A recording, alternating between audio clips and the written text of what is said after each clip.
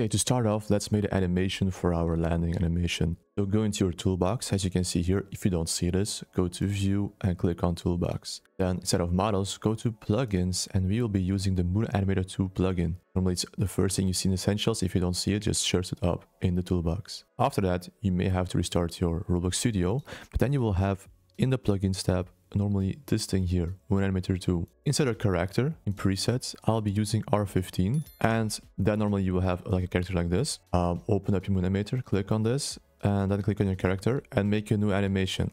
But if you're using my model, then click on land right here, double click on it um, and you will see like this, like my very like bad landing animation. I just made it like pretty quickly. Uh, file, then you gotta do like save as, uh, where you see it save as, and then you do like land, where I did that. So then after you saved it, go into your character, anim saves, and you will see land. Right click this, save to Roblox, you will see land, save, and then you will have this. Click this link and just remember this ID code uh, once you click on this. Like see if I click on it, you'll be redirected to this page. Just click on this and you will have this ID.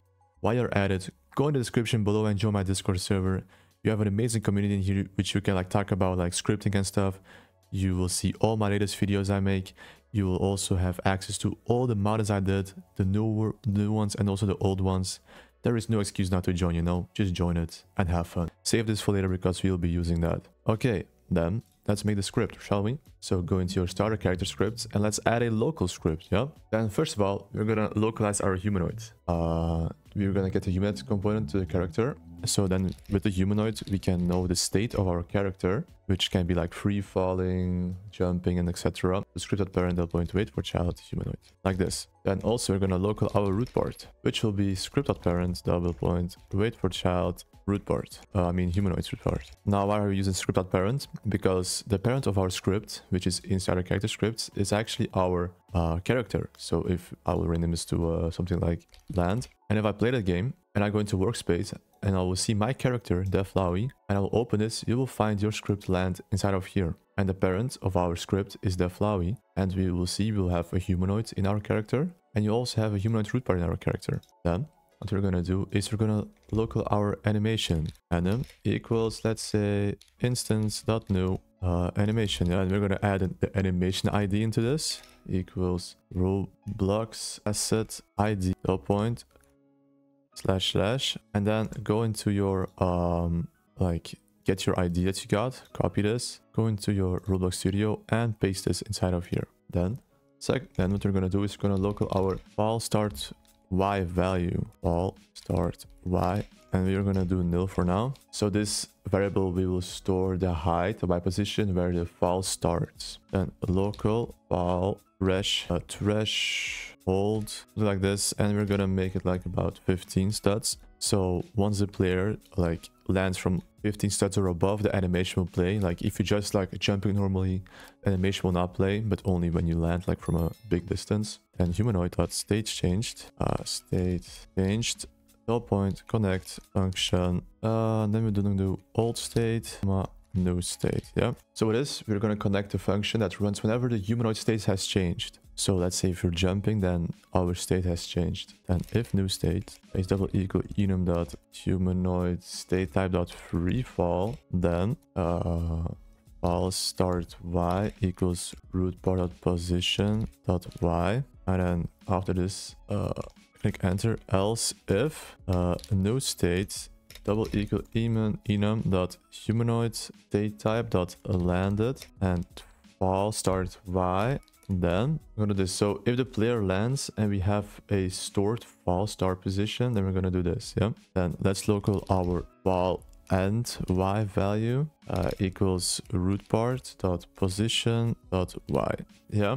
So we will see like the y value from the beginning and then to the end. Then we're gonna see like what the difference was. Uh, then local our fall distance equals fall start y minus fall end y so then we're going to see the difference and then we're going to check if fall distance is the same or above uh, 15. As we're going to do here.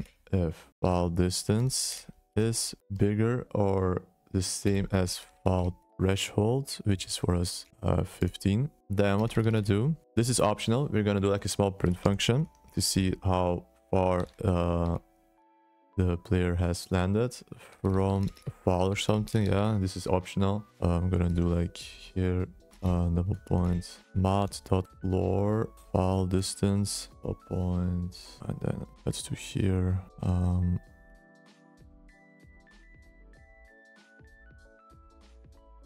uh, studs yeah so now normally oh um like this i don't know i had like two um brackets in here. Um okay and now what we're gonna do is to fall start y equals nil on the end of the jump. So normally now when we play the game you'll see our output like window. If you like jump like land higher from like 15 studs it will like show how far we fall.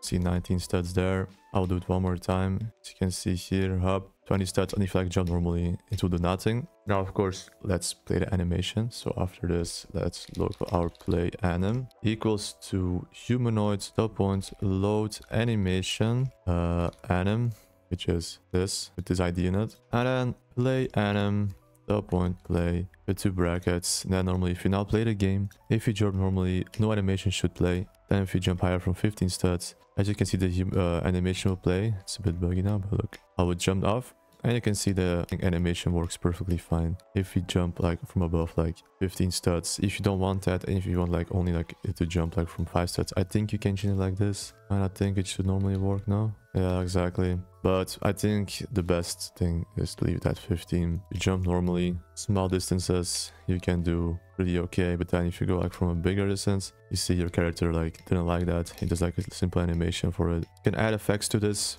but this is like the simple animation for it. It was not that hard i think. Um the like the the model will be like the r15 model with the script on it the script you drag inside our character scripts and with the model you just go into anim right click on this save to roblox and then get the animation id and put it inside of here. Well i hope you guys enjoyed this tutorial and i'll see you in the next one